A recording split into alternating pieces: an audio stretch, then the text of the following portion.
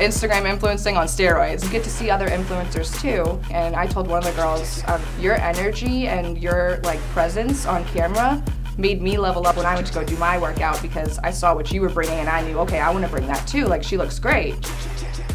There's so much value with Endorphinz. I've met so many good creators that, you know, we've branched off and made content together. It's just such a good networking place and it really helps you grow as a content creator. Being in front of the camera is probably the hardest thing to do. And when you've got a team that's able to make you feel comfortable in front of a camera, in front of, you know, 12 people that you just met, like, I think that's incredible. You know, you, you need to make those connections. And also getting in front of the camera really helps for you to open up and um, you know loosen up become more vulnerable and learn how to communicate and share your story that's ultimately the reason why we're here